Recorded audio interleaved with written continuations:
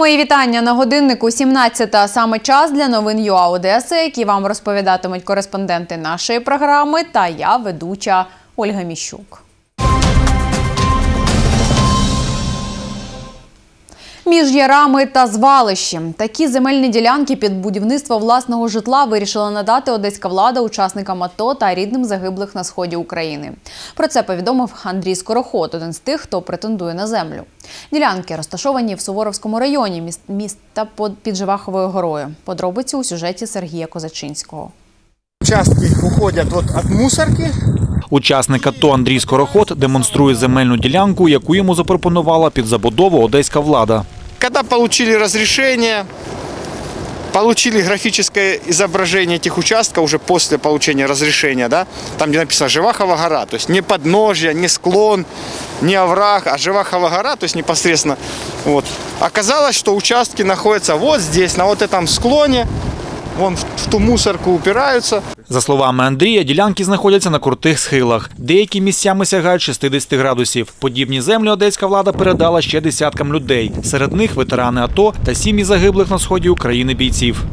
Очень много нецензурных слов скапливается где-то в душе, чтобы описать то, что мы почувствовали. Проводити будівництво на подібних земельних ділянках можна. Про це каже архітектор Микола Чепелєв. Але витрати можуть збільшитися в рази.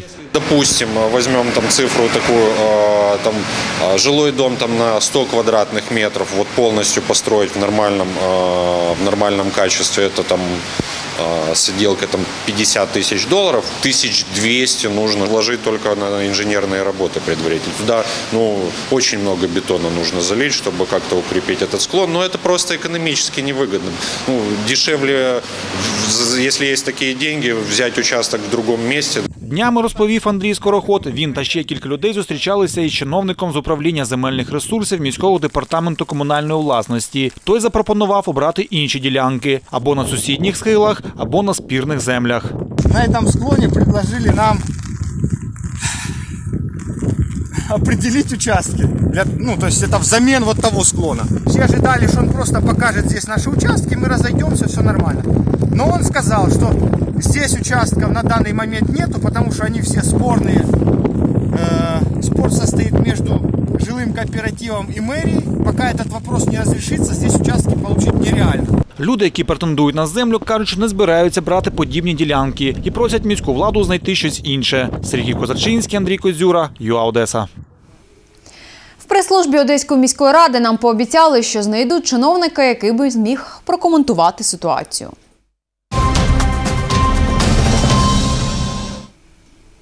Погіршення погодних умов в Одеській області. Значні опади, ожеледь, ожеледиця, налипання мокрого снігу. Зранку на дорозі державного значення Київ-Одеса поблизу селища Петровірівка за снігоочисною технікою утворився затор. За словами начальника служби автомобільних доріг в Одеській області Олега Вереведи, це сталося через автомобілі на літній гумі.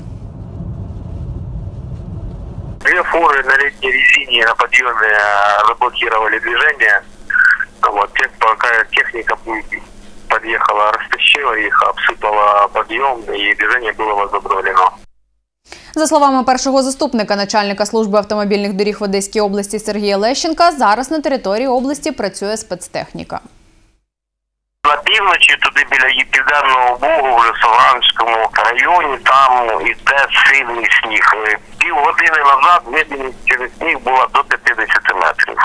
Техніки багато працює, м, кілька комбінованих дорожніх машин, 53 одиниці на розчистці. Але робота надзвичайно малоефективна, тому що те, що прочистила машина, вітром задуває, проходить там півгодини 40 хвилин і знову треба чистити. Люди працюють е, з вчорашнього дня. За ніч у Балті випало 30 сантиметрів снігу. На цих кадрах ви бачите наслідки негоди. Вся комунальна техніка та штат працює з опів на третю ночі. Про це повідомив голова Балтської об'єднаної територіальної громади Сергій Мазур. Сьогодні працює в місті 10 одиниць техніків, в селах громади 30. Фермери дали свою. Задіяно десь близько 50 чоловік. Всі бюджетні об'єкти працюють в нормальному стабільному режимі, всі підприємства комунальні працюють, вода є, газ є, поривів нема, перепадів напруги нема. Просто дуже великі обсяги снігу, тому йде процес його розчищення. з десь третього ранку. Рейси з Одеського міжнародного аеропорту виконуються у звичайному режимі. Про це журналістам новин ЮА Одеса повідомила його прес-секретарка Ольга Мороз. Зазначимо, що в Одесі нічний сніг перейшов у дощ. Синоптики попередили про пориви південного вітру до 24 метрів на секунду. З цього приводу до одеситів звернулася мерія з проханням без гострої необхідності не виїжджати на особистому автотранспорті, обережно пересуватися містом і не залишати автомобілі під деревами та лініями електропередач, оскільки в результаті негоди можливе падіння гілок та кабелів. У разі нещасного випадку звертайтеся до аварійних служб швидкої та поліції. Їх телефони ви зараз бачите на своїх екранах.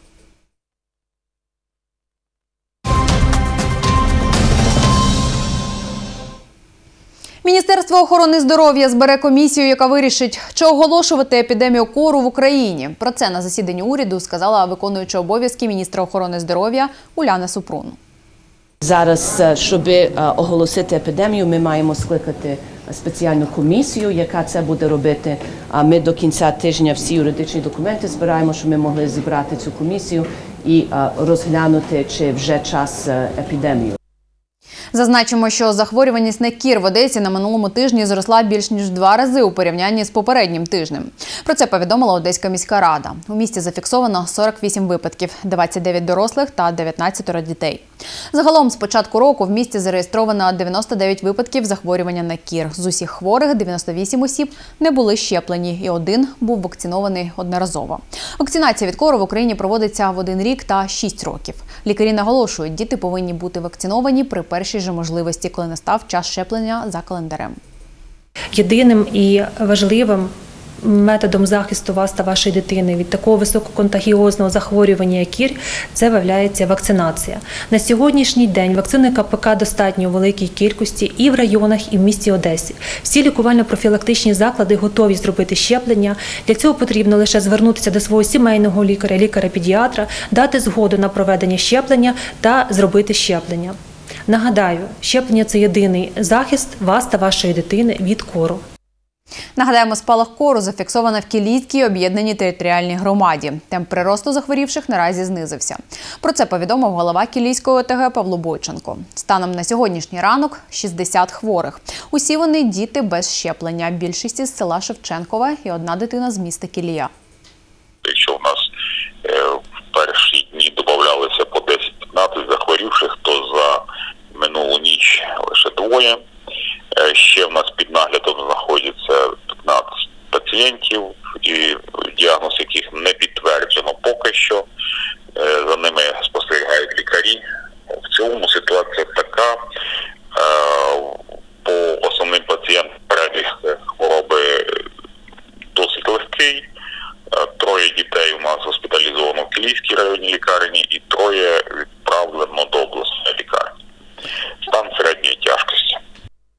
Зазначимо, що в Кілійській ОТГ введено карантин до кінця тижня.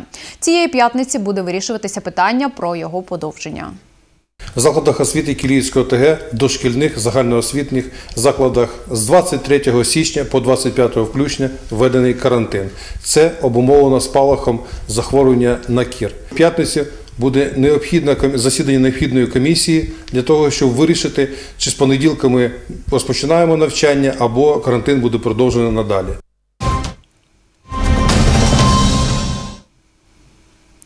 Одеські зоозахисники планують організувати акцію протесту, направлену проти використання диких тварин у цирку. Про це повідомила представниця громадської організації Animal SOS Вікторія Козаченко. Приводом для цього став відеоролик циркового шоу Навколосвітня подорож. На думку представників громадськості, на цьому відео дресирувальник знущався над крокодилом. Це відео з циркового шоу Навколосвітня подорож. На ньому можна побачити номер дресирувальника з крокодилом. Відео викликало обурення громадськості, яке побачило в цьому ознаки жорстокого поводження з тваринами.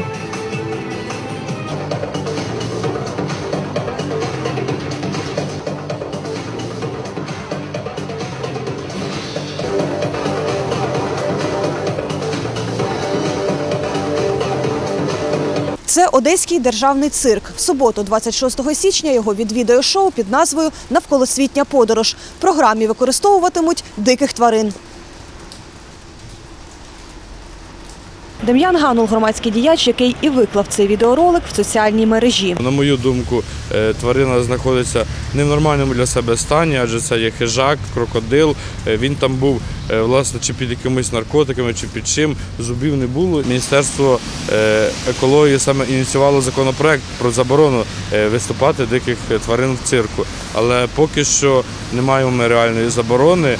Е, Хоча, на мою думку, знову ж таки, саме на відео є е, факти жорстокого поводження з тваринами. Думку зоозахисників висловила Вікторія Козаченко. Повідомила, що планують влаштувати акцію протесту. Да, может быть, таким образом сотрудники цирка хотят показать уровень дрессуры. Ну, вот давайте, как взрослые люди, мы подумаем, что нужно было сделать с крокодилом для того, чтобы в присутствии нескольких сотен людей ему, извините меня, раскрывать пасть, там, переворачивать его на спину. Ведь за животных кто-то решает. Почему? Ведь никто же не спросил этого крокодила, хочет ли он, извините меня, чтобы его вот так вот катали по арене цирка. Тех же медведей. Ведь это же не природное отношение к животным. Акція протесту запланована на суботу, 26 січня о 15.00 біля одеського цирку. Олена Логінова, Борис Мисливцев, ЮА Одеса.